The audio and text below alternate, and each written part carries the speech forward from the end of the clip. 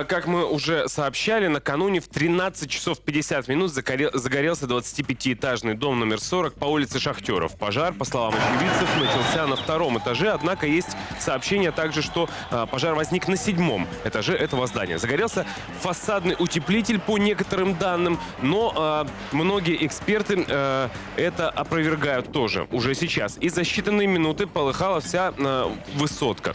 А, Сначала в огне была лишь восточная сторона, затем огнем охватило весь дом. Работало почти 30 единиц техники, но и они не справлялись. Лестниц не хватало. Здание оцепили и начали эвакуировать людей. А, Это чудо, но жертв, к счастью, нет. Понятно, что а, животные, ценные вещи, много э, еще чего осталось э, в огне. Кто-то кричал из толпы, что на последних этажах еще есть жильцы в квартирах. Спасатели эту информацию проверили. К счастью, она не подтвердилась. Огонь распространялся так быстро, что уже через полчаса люди вручную оттаскивали горящие машины со двора. Огонь бушевал между э, сайдингом, который обшит э, весь жилой дом, и непосредственно стенами. Именно поэтому было принято решение тушить огонь с воздуха. Этим занимались вертолеты Ми-8. Ну а в школе номер 150, которая находится недалеко от места пожара, был создан пункт временного размещения погорельцев. Там организовали ночлег и питание. Мэр города Эдхам Акбулатов провел конференцию с пострадавшими от пожара. Дом был отключен от водоснабжения и э, электроэнергии. Мало кто знает, но глава города провел с жильцами еще одну конференцию примерно через два часа после первой. А, именно на ней побывала моя коллега Евгения Головина.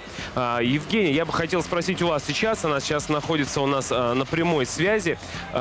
Дом был оцеплен, и вот эта вторая конференция. Что происходило там и что решил глава города вместе с жильцами?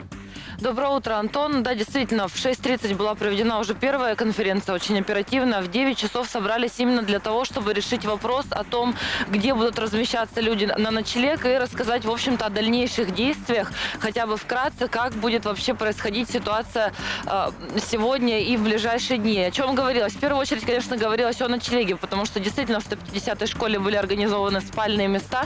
Однако вот э, задал мэр города вопрос о том, кто останется ночевать в школе, и, по крайней мере, из присутствующих на собрании на тот момент, пока вопрос был прозвучал, никто из эм, присутствующих не изъявил желания остаться, хотя на места для ночлега были организованы. Также на вопрос, также он сообщил о том, что в принципе есть возможность вернуться в свои квартиры. Все квартиры в этот момент уже, сообщил он, находятся под охраной, и каждый жилец попасть в свою квартиру сможет только сотрудникам полиции, потому что практически все двери взломаны, вскрыты, и, естественно, к этому э, нормально отнеслись жильцы, потому что, ну, это была такая ситуация. Кстати, стоит отметить, что 60% э, жильцов этого дома это сотрудники МЧС. Вот такая вот э, трагическая случайность произошла с домом, и они очень оперативно старались. То есть я думаю, что и не, не- немаловажный фактор то, что очень быстро и оперативно эвакуировались из дома, да, и, к счастью, пострадавших нет.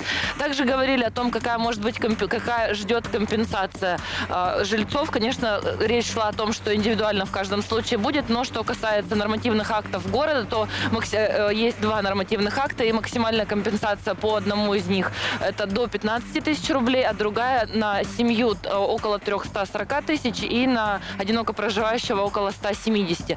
Вот. Также говорили о том, что сегодня утром уже с 9 часов начнет работать, э, со- социальные службы начнут работать прямо в 150-й школе, потому что есть люди, которые остались без документов, и сейчас есть необходимость восстанавливать их и, и получить временное удостоверение личности. Ну и, конечно, уже сказали, что сегодня буквально с 9 до 2 часов дня э, все те, у кого есть возможность, кому не нужно на работу, и те, кто могут быть на месте прямо в квартире, они будут уже э, с, с, э, сотрудниками правоохранительных органов, сотрудниками социальных служб составлять акты о том, что повреждено. И вот также у меня сейчас в руках вот этот тот, тот, тот самый утеплитель, который горел. Насколько он горит, мы сегодня попытаемся его, наверное, чуть-чуть поджечь и посмотрим, как это будет выглядеть, горит ли он или причина возгорания была какая-то другая. Вот такая у меня информация. Да, Евгений, сейчас. спасибо вам большое.